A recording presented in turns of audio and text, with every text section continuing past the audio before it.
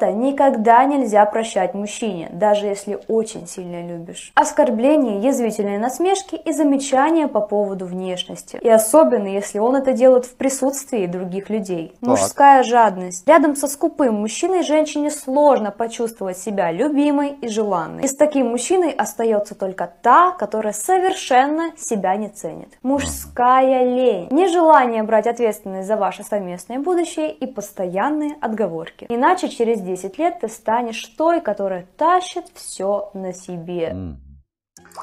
Понятно, в принципе, все предельно ясно. Ребята, всем здорово, Саныч на связи. Ну, с первым полностью согласен, никто никого не имеет права оскорблять, потому что это некрасиво, непорядочно и подло. Нафиг это надо, как бы. Ну, а второй, как бы, ну, это чисто женские вот эти вот приколы заманухи, да, там, жадный, нещедрый, там, и так далее, да.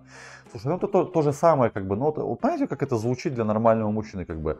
А, это то же самое, что я, я еще бы такие критерии создал. Там, если там э, женщина в попу не дает, значит, она тебя не любит, как бы, да. Вот, по большому счету, как бы доля правды есть. Но в попу дает та, которая пробита на инстинкт. А это немножко разные вещи. Там любит и хочет, это как бы...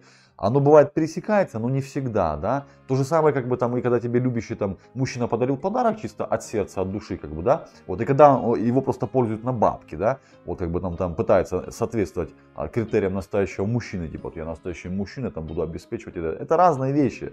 Вот, э, он тебе подарил, допустим, подарок, ты ему в ответ подарила подарок. Это нормально, это нормальное отношение, когда, допустим, там э, обоюдные такие отношения, у вас там обоюдные подарки есть, да, то же самое, как и в постели, как бы, да, там, она тебе позволяет вольности в постели, ты позволяешь вольности в постели, ну, это нормально там, как бы, вот, ну, а вот это вот, выстраивание критерий, ну, это такая дичь, блин, ё-моё.